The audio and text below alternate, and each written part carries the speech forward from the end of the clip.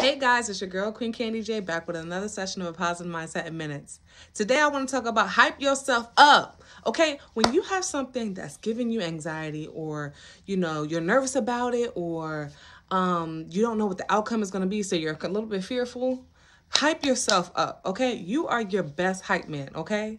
And I need you sometimes to just not care about what people think. And if they're looking at you, so what? Like, hype yourself up. Like, give yourself a pat on the back. Like, listen to your favorite song. Give yourself some affirmations in that moment. Just, just do whatever it is that gets your spirit, your energy flowing and get your body moving. That helps too, okay? This happens like before you give some sort of speech or some type of um, interview or some type of, um, I don't know, a place where you're just put on the spot and you are, you know it's coming, but you're like anxiously waiting and it's a suspense and it's, ah, the nerves, everything. So just shake it off, shake your body. Okay, get yourself hyped up. Talk to yourself in the mirror. Go to the bathroom and talk to yourself. Okay, it works every single time. Be your best hype man. Have a good day. Peace.